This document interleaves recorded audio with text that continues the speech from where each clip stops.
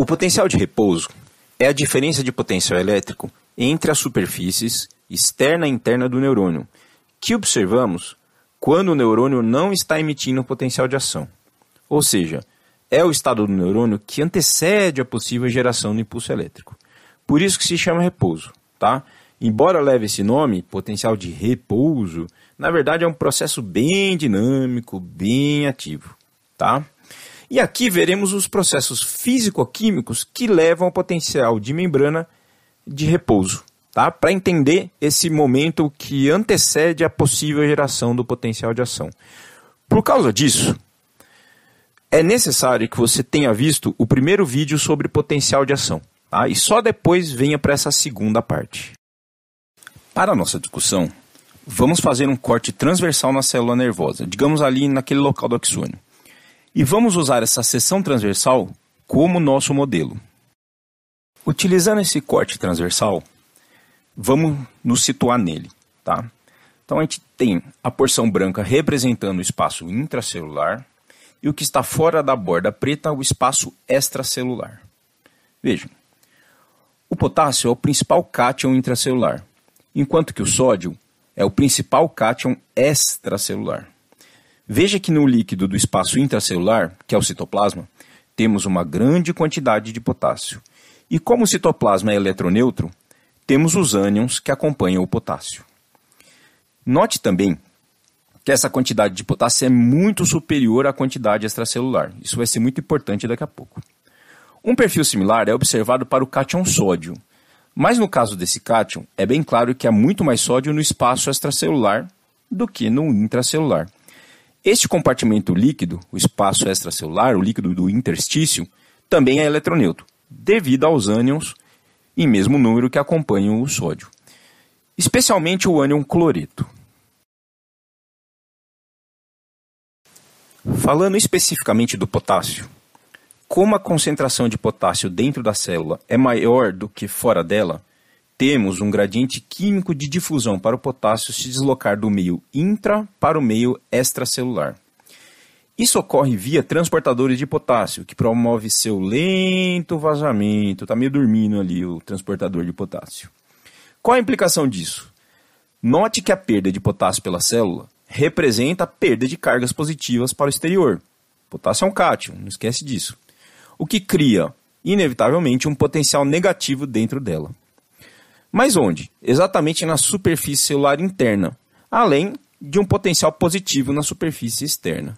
Mas a difusão de potássio para o exterior da célula não ocorre desenfreadamente e para sempre.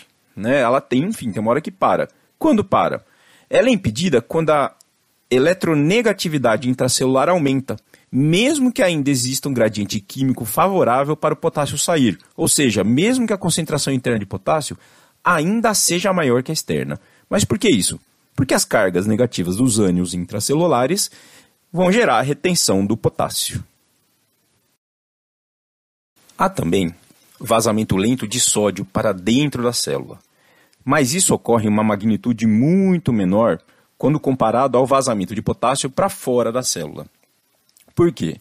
Porque a membrana do neurônio é cerca de 100 vezes mais permeável ao potássio do que para o sódio, como existe algumas evidências observadas, por exemplo, em alguns mamíferos. Tá? Veja, vaza mais potássio de dentro da célula do que entra sódio, por esse modo lento e passivo que a gente vem conversando. Tá? Comparando esses eventos que envolvem o sódio e o potássio, fica claro então que a permeabilidade da membrana ao potássio e o seu movimento são mais significativos na geração do potencial de repouso do que o movimento e a permeabilidade ao sódio. Na membrana, temos também a presença da proteína sódio-potássio-adenosina trifosfatase. Oi? O que mesmo? Bom, você conhece, tá? É uma proteína apelidada carinhosamente de bomba de sódio e potássio. Ah, mais fácil, né? A atuação da bomba contribui com a manutenção da eletronegatividade no lado interno da superfície da membrana. Isso decorre do fato da bomba transportar contra gradiente 3 íons sódio e 2 íons potássio. Em outras palavras, a bomba transfere 3 sódios para fora da célula contra sua tendência de difusão para dentro, ao passo que internaliza 2 potássio, que é contra a sua tendência de difusão para fora.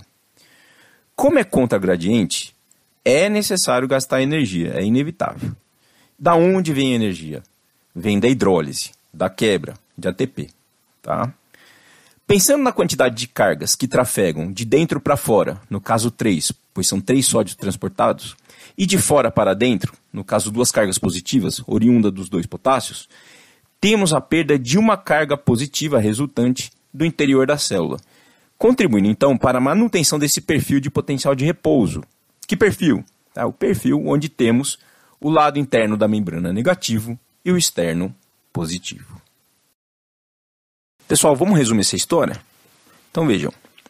Considerando a permeabilidade diferencial da membrana aos cátions sódio e potássio no repouso, vemos uma perda de cargas positivas pela célula pelo movimento mais significativo do potássio para fora do que pela difusão do sódio para dentro além da participação da bomba de sódio e potássio, que acaba sendo eletrogênica, pois gera déficit de carga positiva na célula, ao transportar três sódios para fora, enquanto que transporta dois potássios para dentro. Esses processos em conjunto explicam o registro de um potencial de repouso de membrana negativo, como por exemplo o menos 70 mV, como ilustrado no gráfico. Veja que é o valor que a gente tenha adotado aí como referencial embora né, possam ser outros, tá?